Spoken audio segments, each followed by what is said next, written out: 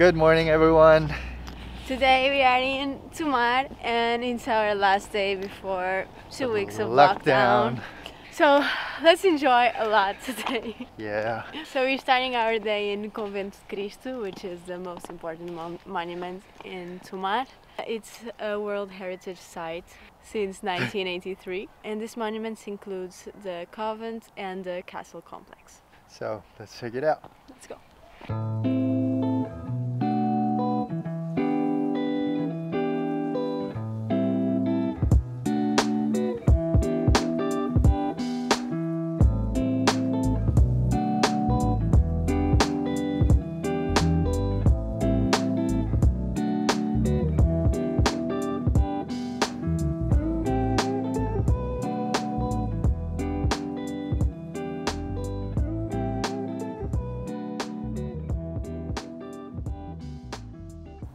Convent was founded by the Templar Knights in the 12th century, and the construction took a lot of time since the 12th century until the 18th century.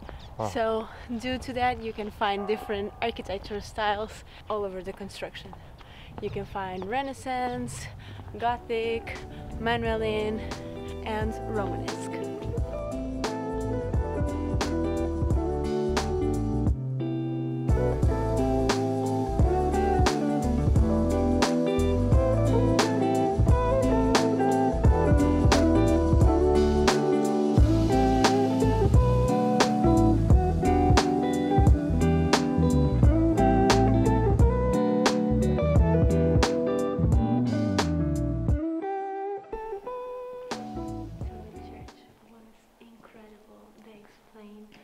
The meaning of every painting, every sculpture.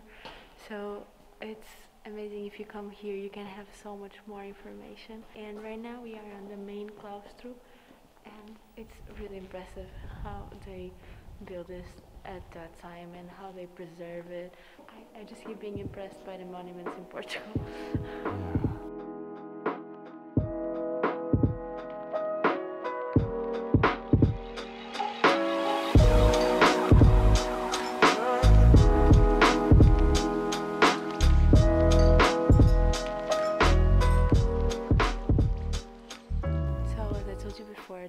convent was founded by the Templar Knights. They built it until the end of the 12th century, but by the, the end of the 12th century, the construction was finished by the Grand Master Gualdim Pais.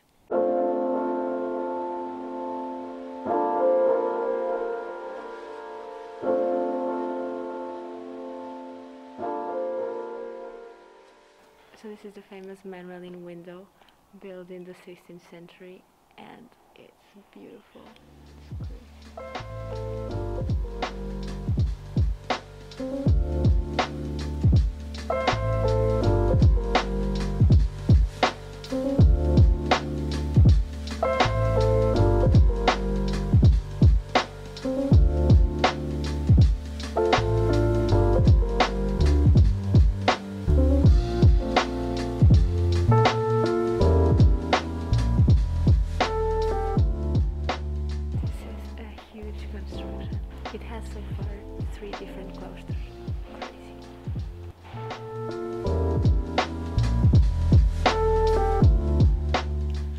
So, far we've visited a lot of convents and I can assure you that every single one can surprise you.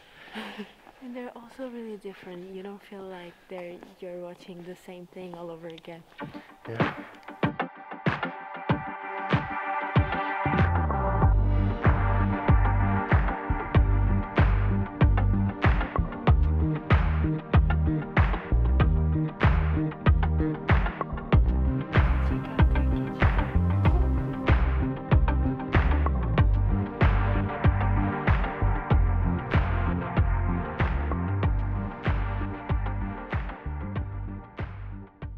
It was very nice and interesting how the Templars lived, right?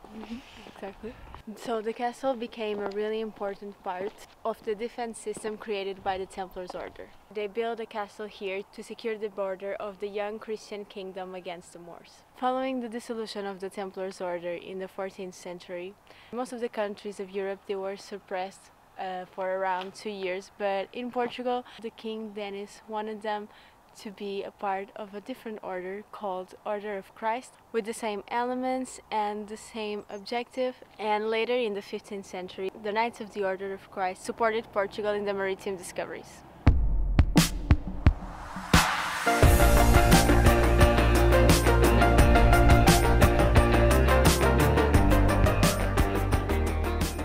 Right now we are in Parque Mouchão, which it's pretty nice, it's cute, it's not super big, but it is beautiful because you have the river passing by in the middle, the river Nabão, and it gives a lot of life to the city. It's pretty, I like this place.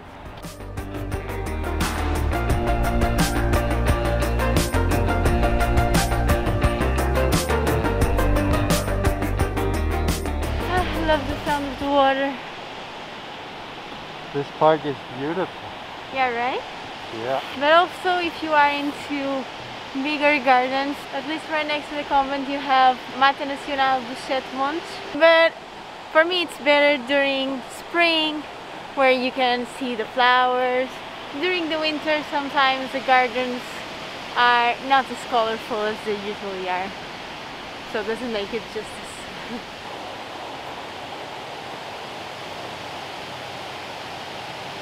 This is Bridge Dom Manuel I and was also built by the Templar Knights.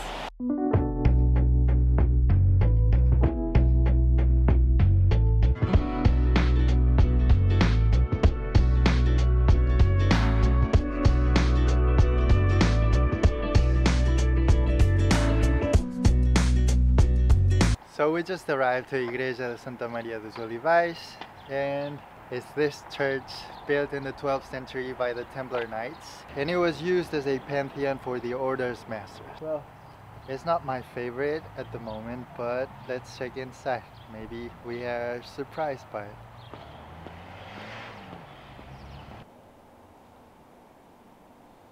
Usually I, we don't like to give you information about things that we can show you, but I think this one is really important and is that in Tomar every four years you have Festa dos Tabuleiros, which is the most important festivity in the city and it's beautiful. Like I can explain it, you need to see it for your eyes and the next one will be in 2023 and hopefully with this pandemic already behind our backs it's a perfect time for you to come and visit this place because it's no words for it. That you see behind me is Pegões Aqueduct and was built at the end of the 16th century to bring water to the convent that we just showed you before. Wow. It's beautiful. It has a maximum height of 30 meters and for me it's one of the most beautiful that I've seen in Portugal so far. Yeah. Although the one that we saw in Óbidos was great too. But this is more impressive with the two arches, one in one on the top of the other one. Yeah. I like this one better.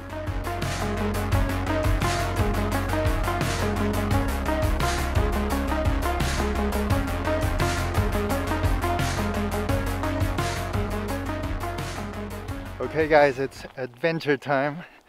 We're looking for a swing, a famous swing, that is called Baloiço de Talegre. Talegre. And yes, we've come a long way just for a swing.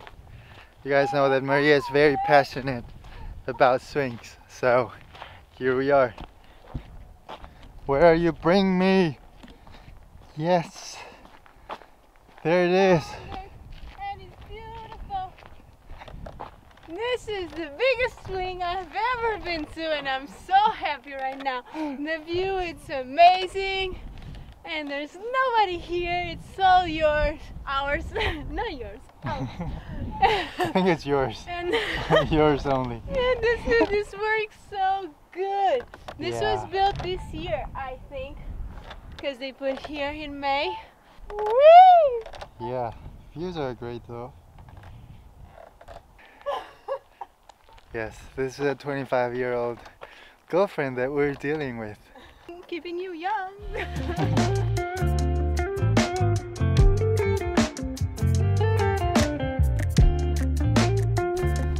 so, tell us, what are our next plans for the lockdown? For the lockdown, we thought about doing a recap of our adventure in Portugal so far and maybe a Q&A. You guys have any doubts, any questions that you want to make us, or do you rather if we do a live, Yeah. a live with you guys? So this are our plans for the next two weeks, but we need to find something else for sure, because we'll be stuck at home for the next two weeks. This was fun. Yes, it was. Well, Tomar was very cute, beautiful with the river and the bridges. The convent was really cool. It's very worth it. Yeah, it's impressive and you can learn a lot. It's a city with a lot of history, so if you go there, you can feel it and you can learn from the ones that know exactly what they've been through. So I think it's a place for you to visit for sure and enjoy, and it's a perfect day trip. Well, we don't know when we're going to film again because of the lockdown, but we'll keep you posted on Instagram and on our next video. See you soon.